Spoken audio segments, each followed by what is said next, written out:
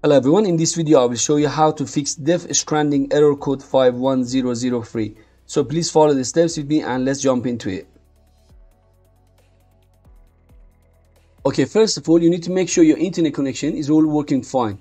And the next step after that, just go to search and type in there system configuration and open it up. And after that, on the top, click on services tab. And over here, look for Epic Online Services. Make sure it's checked and after that just click on apply and ok. And next solution open up the command prompt. So just go to search and type in there cmd and make sure to run it as administrator. You need to copy and paste all these commands in here one by one. These commands will clear the dns caches. I will also leave the commands in the video description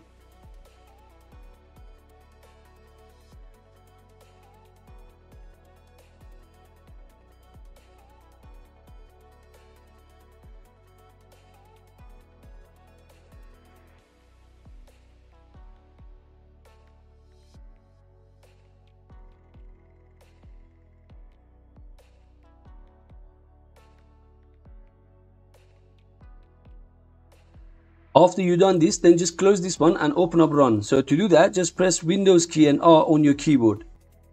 And type in here ncpa.cpl. And then just click OK.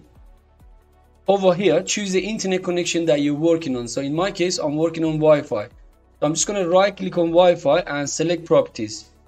And next in here, select Internet Protocol version 4 and click on properties. Then we need to select this option, use the following DNS server address. And for preferred DNS server, type in there 8.8, 8.8. And then for the bottom one, which is alternative DNS server, type in there 8.8, 4.4. Just in case you have already selected this option in the past and it still is not working, then you can just choose the top one which says obtain DNS server address automatically and just click OK. Now you can check to see if the problem is solved. If not, then this problem could be due to the density of Death Stranding servers. So you can try to use VPN, it might help. So to use a free VPN, you can just go to this website and download it. I will leave the link in the video description. And that's all. By the way, if you haven't subscribed to my channel yet, please consider supporting me and subscribing for more videos. Thanks for watching.